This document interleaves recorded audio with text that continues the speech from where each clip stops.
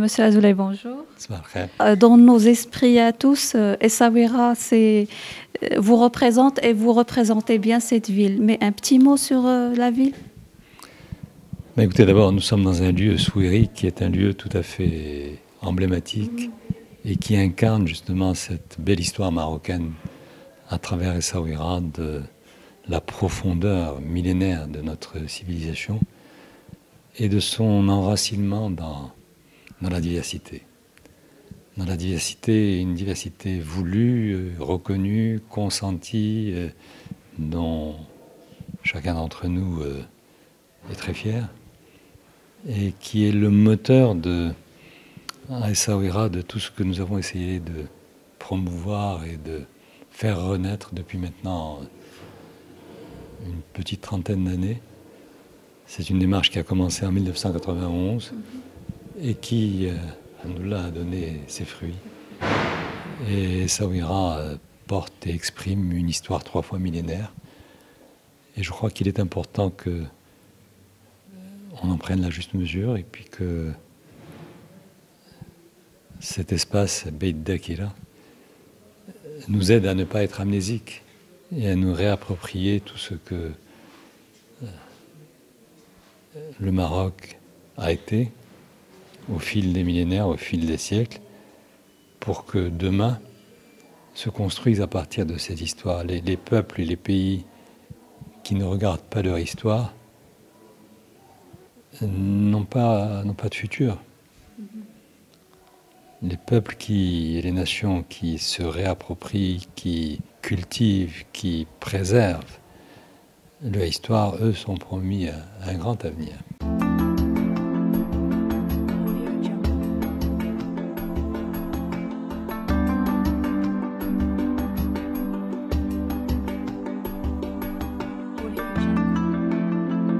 Justement, j'allais vous poser la question sur la genèse de ce projet qui maintenant euh, a été lancé. Comment vous voulez le, le présenter et comment vous, vous voyez son développement? Ce projet est en cours de finition. hein. Les travaux seront terminés d'ici la fin du mois d'août. Et il sera à la fois emblématique et, et il sera un espace témoin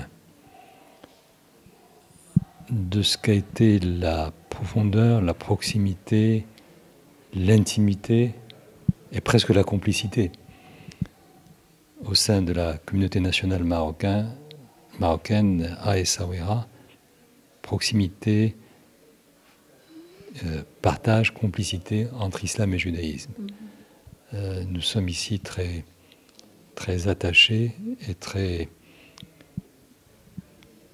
très engagés pour donner à ce témoignage à la fois sa vérité, sa, ses leçons, pour en préserver les leçons, et pour faire en sorte que ce clignotant que nous, allumons, euh, que nous allumons euh, aide euh, musulmans et juifs à se réapproprier cette mémoire qui leur est commune et qu'ils partagent pour demain.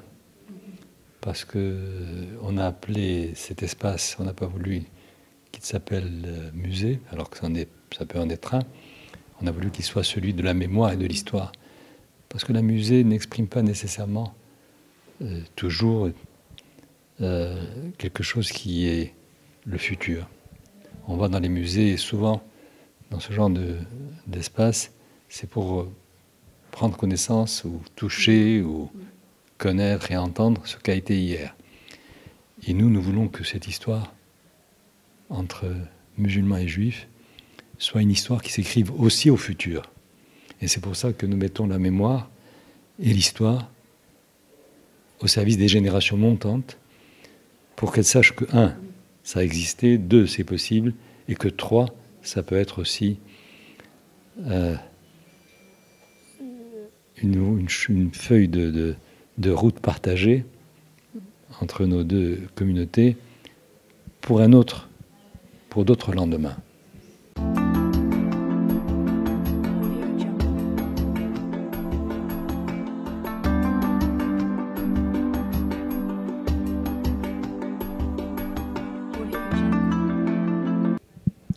Euh, Euh, justement, pour, je pense que c'est dans ce cadre que vous avez pensé aussi le centre de recherche, qui est, à, mon avis, une première pour, euh, et en plus travailler en coordination avec des universités.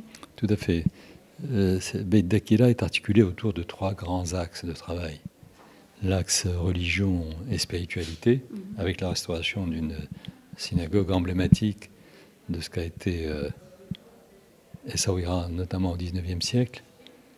Et puis cet espace histoire et mémoire qui est celui de, du témoignage. Et on a choisi de privilégier le film, la photographie, le récit, plutôt que l'objet. Et euh, on a aussi, dès le départ, cherché à accompagner cette euh, dynamique et cette, euh, ce projet par un encadrement scientifique. Et donc on a créé un centre de recherche qu'on a appelé Haïm Zafrani. Haïm Zafrani est lui-même l'historien, l'anthropologue et le sociologue qui a le plus travaillé sur le judaïsme en islam, qui a le plus travaillé sur le judaïsme au Maroc et au Maghreb. Ses livres sont fameux 1000 ans de vie juive au Maroc, 2000 ans de vie juive au Maroc. il, a, il, a, une œuvre euh, énorme. Et il était souris. Il est décédé il y a une dizaine d'années. Et donc on a appelé le centre de recherche de son nom. C'est le centre Haïm Zafrani pour revisiter les relations islam-judaïsme en partenariat avec de grandes académies, de grandes universités américaines, européennes et bien sûr d'abord marocaines avec l'université Mohamed V, j'espère, et l'université Kadiriyet de Marrakech.